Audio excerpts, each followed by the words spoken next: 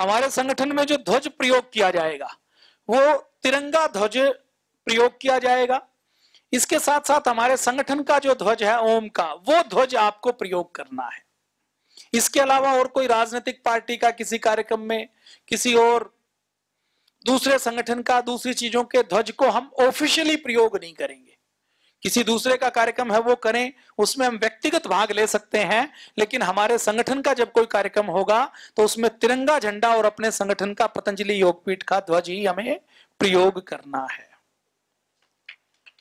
तिरंगे झंडे का जब हम प्रयोग करें तो उसको पूर्ण गरिमा के साथ प्रयोग करना है, ताकि तिरंगे झंडे के अवमानना की कोई चीज़ ना हो। कहीं आप 15 अगस्त 26 जनवरी का कार्यक्रम करते हैं, ध्वजारोहण करते हैं तो शाम को उस ध्वज को उतार भी लें सार्वजनिक स्थान पर। घरों में जो ध्वज लगाते हैं, उसको 24 घंटे लगाए रख सकते हैं, ऐसा नियम बना हुआ है।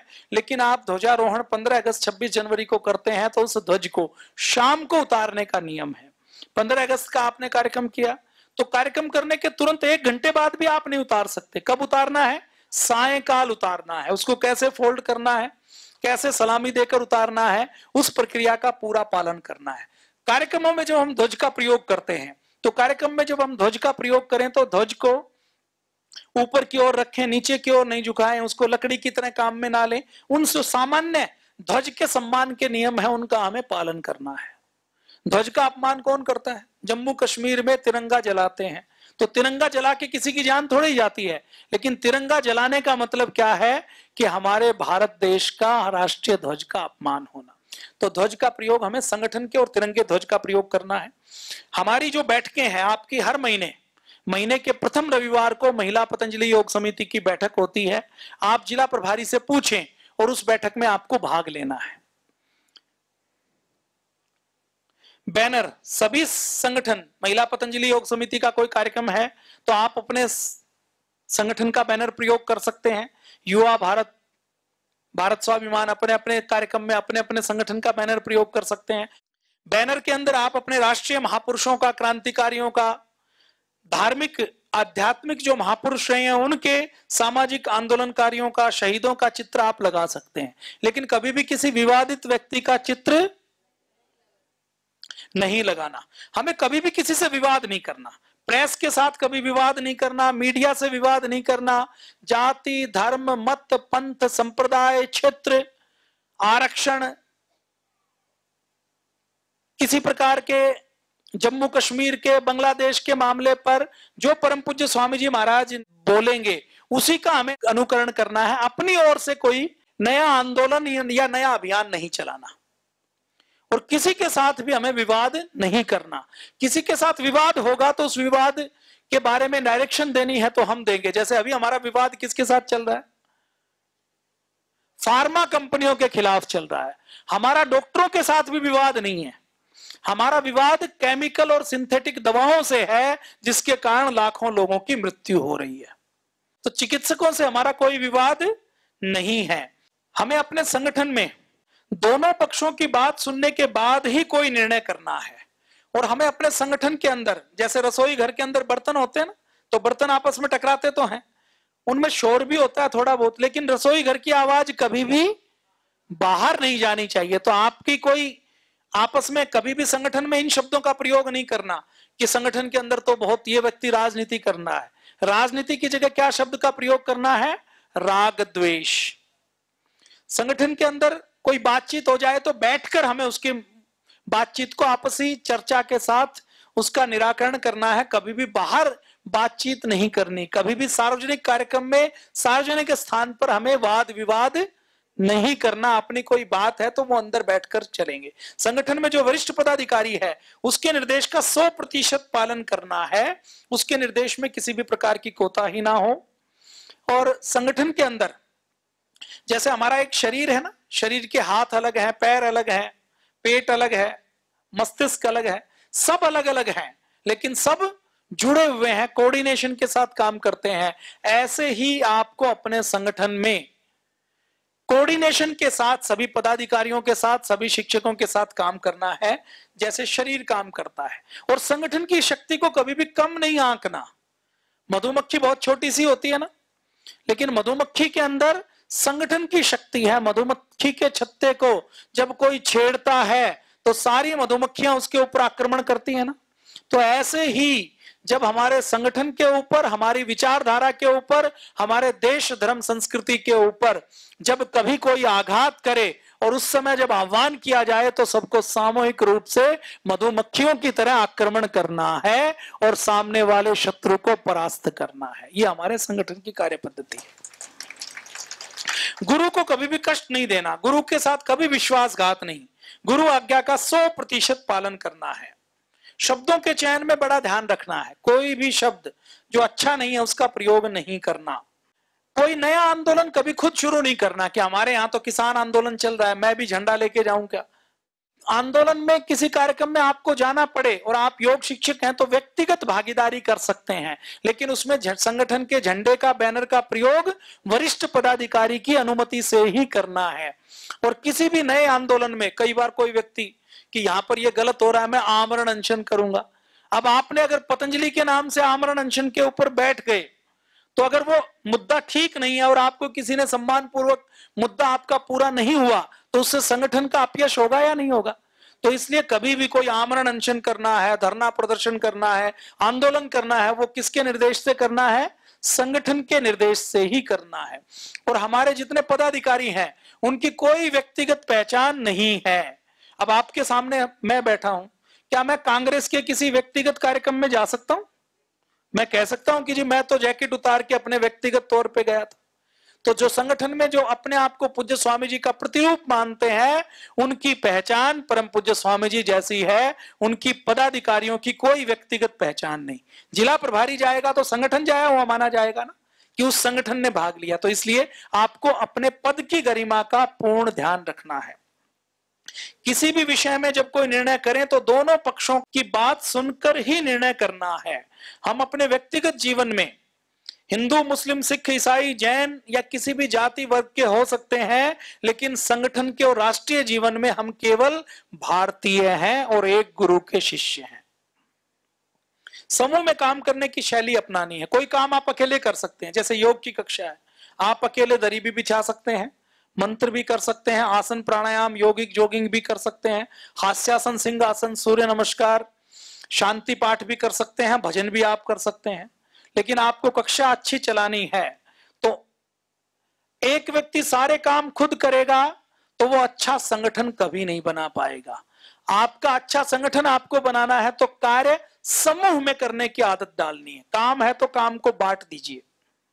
काम कैसे बांटा जाता है कि आप योग की कक्षा लगाते हैं, मुख्य शिक्षक आप हैं तो दूसरे को सम्मान देना है तो किसी का भजन करवा दीजिए, किसी से हास्यासन करवा दीजिए, किसी की ड्यूटी लगा दीजिए कि आपको दरी बिछाने का, लाने का आपका काम है।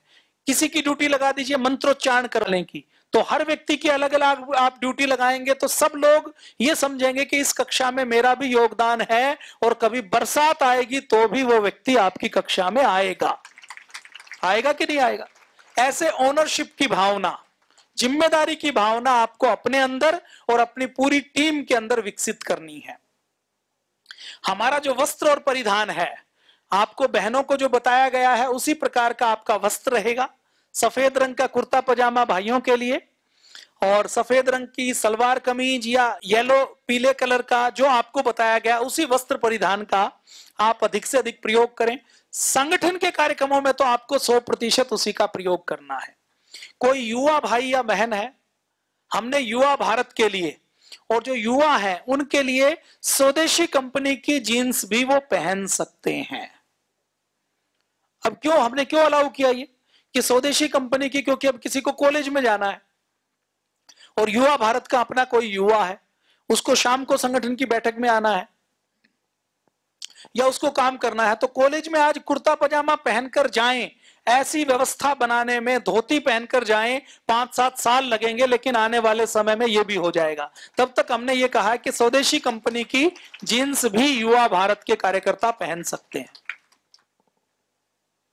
जब कोई बैठक हो, आहार की शुचिता, वाणी की शुचिता, ये हमारे आचरण में दिखाई देनी चाहिए। हमारे संगठन का कार्यकर्ता कोई शराब तो पी नहीं सकता, ठेके के बाहर नहीं खड़ा हो सकता। हमारे संगठन के कार्यकर्ता से आहार की इतनी शुचिता की अपेक्षा की जाती है कि वह कोल्ड ड्रिंक का प्रयोग भी नहीं कर सकता। तो ये हमने संगठन के अंदर योग्यता के मूल्यांकन का आधार क्या है? आपने कितने शिविर लगाए, आपने कितनी कक्षाएँ लगाई, आपने दान संग्रह कितना किया, आपने योग शिक्षक कितने बनाए, ये आपकी संगठन की योग्यता का मापदंड है। आपने सौ शिविर लगाए, आपने पचास कक्षाएँ लगा दी, आपने डोनेशन इकट्ठा किया, आपने मेंबर बनाए, आपने कार्यक्रम किए तो जो ऐसे सक्रिय कार्यकर्ता होंगे, उनको संगठन में जिला स्तर पर, राज्य स्तर पर और राष्ट्रीय स्तर पर उनको दायित्व दिए जाते हैं, ये योग्यता का मापदंड है। इसके अलावा दूसरी योग्यताएँ भी, उसको बोलने का कितना आता है। अब बोलने का बहुत अच्छा नहीं आएगा तो कक्षा भी नहीं लगा पाएगा। उसका वक्तृत्व कैसा है, उसका नेतृत्व कैसा है, उसको कंप्यूटर आता है क्या, उसको वाहन चलाना आता है क्या, उसके पास संसाधन क्या है? हमारा कोई कार्यकर्ता अत्यंत सामान्य परिवार का है।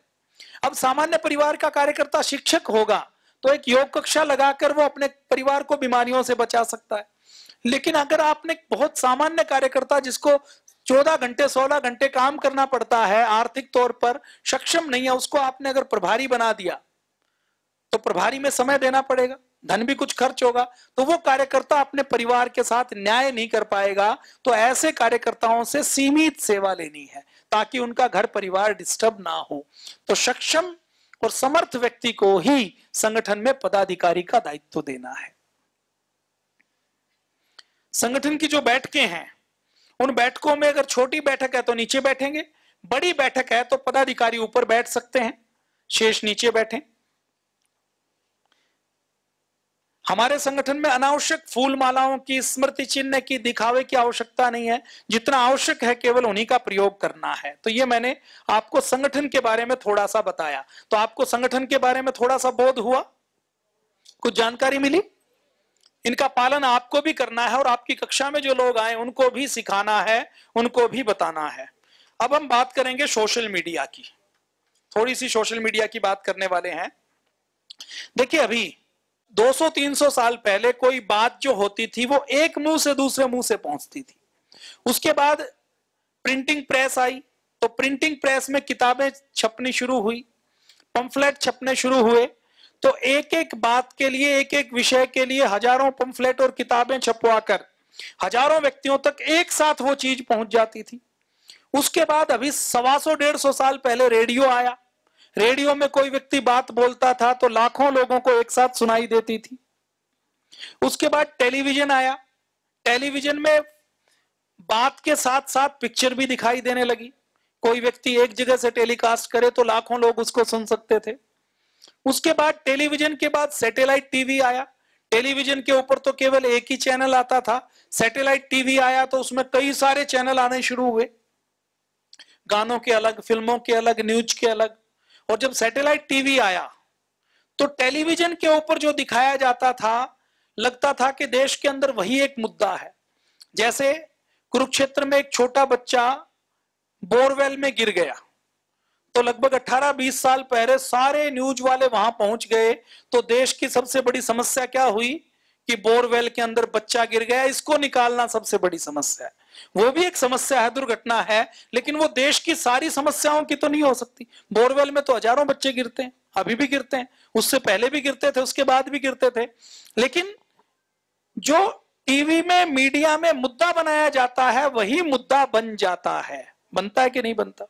तो टीवी के ऊपर वही मुद्दा बनता था जो टीवी के ऊपर दिखाई देता था। अखबार के अंदर जो छपता था, हेडलाइन बनती थी, वही मुद्दा दिखाई देता था कि आज पूरे देश में अखबार पढ़ते हुए इसी बात की चर्चा होगी। लेकिन अभी आप देखते हैं कि पिछले पंद्रह सालों से 2010-11 के बाद इस देश में फेसबुक ट्विटर इंस्टाग्राम आया। इसको सोशल मीडिया कहा जाता है। आप में से कौन कौन है जो फेसबुक का प्रयोग करते हैं? सारे करते हैं। धन्यवाद नीचे कर लीजिए। आप में से ऐसे कौन कौन है जो व्हाट्सएप का प्रयोग करते हैं? सारे करते हैं टाइम पास उसी से होता है। जब पहले आमने सामने बात करते थे, आजकल सारी बातचीत व्हाट्सएप से हो जाती है कि नहीं हो जाती? चुटकला भी भेज सकते हैं, फ़ोटो भी भेज सकते हैं, वीडियो भी भेज सकते हैं। तो आप जो काम मिलके करते थे, वो काम फेसबुक और व्हाट्सएप से होता है या नहीं होता? तभी तो वो चल रहे हैं, नहीं तो वो चल नहीं पाते। आप में से ऐसे कौन कौन है जो ट्विटर का प्रयोग करते हैं? धन्यवाद, नीचे कर लीजिए।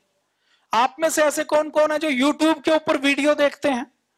कोई हलवा बनाना, कोई रेसिपी बनाना, कोई चुटकुले सुनना, कोई न्यूज़ सुनना, कोई योग का कार्यक्रम देखना। तो यूट्यूब कौन कौन खोलना जानता है? सब जानते हैं यूट्यूब तो बहुत अच्छी बात है।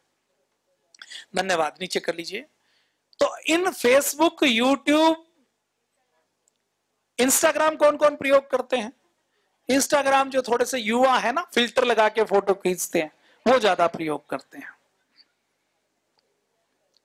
तो आप फेसबुक का व्हाट्सएप का तो खूब प्रयोग करते हैं, लेकिन आप ट्विटर का प्रयोग नहीं करते। और देश के अंदर जितने इंटेलेक्चुअल लोग हैं ना, जितने बुद्धिजीवी लोग हैं, वो किसका प्रयोग करते हैं? व्हाट्सएप को क्या माना जाता है? कि व्हाट्सएप के ऊपर कुछ भी फॉरवर्ड होता रहता है। तो व्हाट्सएप में जो संदेश आते हैं, उनको क्या कहा जाता है कि ये फर्जी ज्ञान है? कहा जाता है कि नहीं कहा जाता? तो व्हाट्सएप को तो फर्जी ज्ञान की यूनिवर्सिटी कहा जाता है। फेसबुक को ठलवा क्लब कहा जाता है कि जो खाली लोग हैं, वो फेसबुक के ऊपर टाइम पास करते रहते हैं। रील बनाने वाले को क्या कहा जाता है कि जिनको मनोरंजन करना है, गाना गाना है, ठुमके लगाने हैं, वो फेसबुक की रील बनाते रहते हैं। तो फेसबुक को व्हाट्सएप को और यूट्यूब को कोई सीरियसली नहीं लेता। देश में मोदी जी को कुछ कहना हो, अमेरिका के राष्ट्रपति को कुछ कहना हो तो ट्वीट करेगा कि फेसबुक के ऊपर कहेगा या व्हाट्सएप पे कहेगा ट्वीट करेगा। व्हाट्सएप ने अभी एक फैसिलिटी और दी है कि आप व्हाट्सएप के ऊपर भी अपना चैनल बना सकते हो, अकाउंट बना सकते हो। लेकिन कभी मोदी जी या कोई बड़ा व्यक्ति व्हाट्सएप के ऊपर उसमें कोई खबर दे तो उसकी न्यूज़ बनती है। तो न्यूज़ किससे बनती है? ट्विटर से बनती है। और हमें देश के लिए जो लड़ाई लड़नी है, उसमें जिनका हमारे साथ संघर्ष है, ऐसे फार्मा कंपनियों को या विदेशी कंपनियों को या देश को जगाने का काम जो ट्विटर के माध्यम से हो सकता है, वो फेसबुक और व्हाट्सएप के माध्यम से नहीं हो सकता। इसका भी प्रयोग करना है हमें, ये भी ताकत है लेकिन ट्विटर का प्रयोग भी करना है तो आपको जब आपकी समूह चर्चा हो तो आज सबको ट्विटर का अकाउंट बनाना है। ट्विटर का अकाउंट कैसे बनेगा? बहुत आसान है।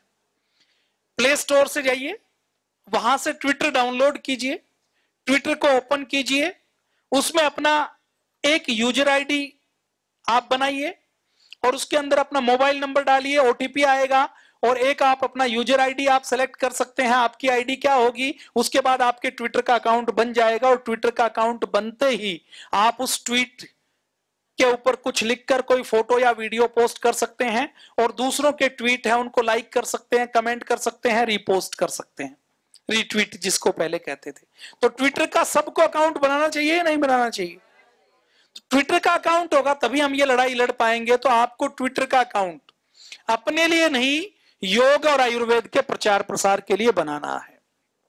अब आप कहेंगे कि हमें तो अंग्रेज़ी नहीं आती, हमें कुछ लिखना नहीं आता, हम अकाउंट बनाकर क्या करेंगे? आपको लिखना नहीं आता, आपको अंग्रेज़ी नहीं आती, आपको हिंदी तो आती है।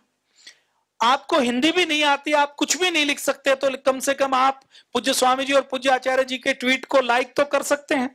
रिपोस्ट कर सकते हैं, उसके ऊपर कोई कमेंट कर सकते हैं। तो आपको फेसबुक यूट्यूब और ट्विटर के ऊपर अपना अकाउंट बनाना है। और पूज्य स्वामी जी महाराज का कार्यक्रम जो फेसबुक पर आए यूट्यूब पर आए ट्विटर पर आए इंस्टाग्राम पर आए, रोज दस मिनट का समय निकालकर दस मिनट तो समय मिलता होगा। अच्छा दूध गर्म करने में भी तो समय मिलता होगा ना। उतने ही टाइम आप फ़ोन रख ले उतने टाइम आपको योग की सेवा करनी है, जितने टाइम में आप दूध गर्म करते ऐसे तो घंटे घंटे रील देखते ही होंगे। कई बार चार चार घंटे निकल जाते हैं रील देखते देखते तो आपको इन अकाउंट के ऊपर सबको जोड़ना है, ये सोशल मीडिया के ऊपर भी हमें इस युद्ध को लड़ना है। सोशल मीडिया में इस युद्ध को लड़ना क्यों ज़रूरी है? ये देखिए, पूज्य स्वामी जी महाराज का अकाउंट बना हुआ है। इसके ऊपर आप लाइक कर सकते हैं रिपोस्ट कर सकते हैं, ऐसे ही फेसबुक का अकाउंट बना हुआ है। पूज्य आचार्य जी का अकाउंट बना हुआ है। पतंजलि विश्वविद्यालय का, पतंजलि योगपीठ का, भारत स्वाभिमान का, पतंजलि डेयरी का, इन सब का अकाउंट बना हुआ है। तो आपको इन सारे अकाउंट्स को लाइक करना है। और रोज एक बार खोल के आपको रिपोस्ट करना है। ओम सादर प्रणाम भी आप लिख सकते हैं। पूज्य स्वामी जी भी देखते हैं कई बार।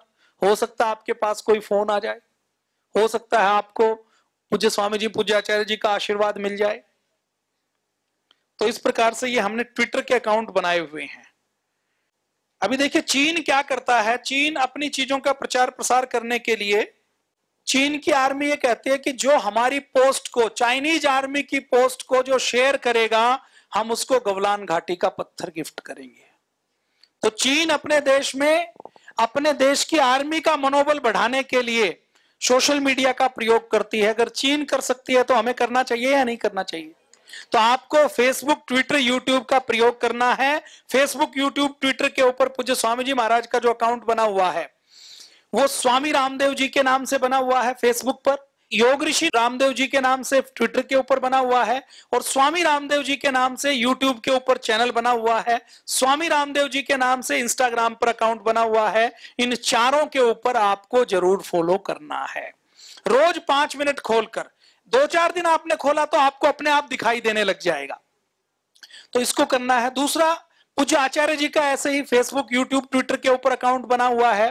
उस अकाउंट को आपको प्रयोग करना है। उस अकाउंट को खोलकर आपको उसमें भी रोज जो पोस्ट आए, उसको खुद भी पढ़ना है, आपको नई जानकारी मिलेगी योग की, आयुर्वेद की, और उसको लाइक करना है, उसके ऊपर कोई कमेंट करना है, उसको फॉलो करना है तो ये चीज़ें और तेज़ी के साथ आगे बढ़ेंगी। तो ऐसे सोशल मीडिया में भी आपको अपना योगदान देना है।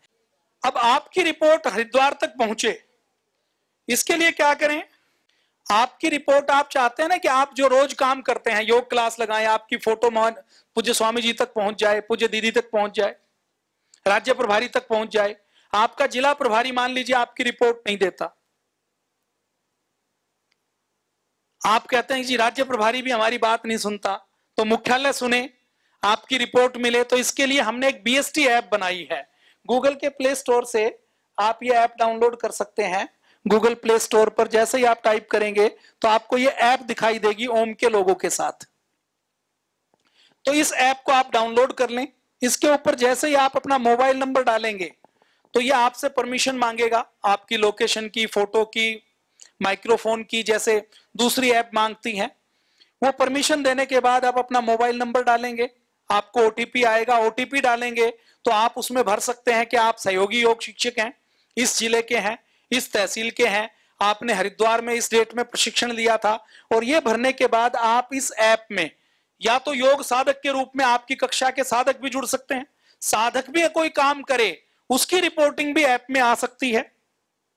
योग शिक्षक के रूप में जुड़ सकते हैं, सहयोगी योग शिक्षक के रूप में जुड़ सकते हैं।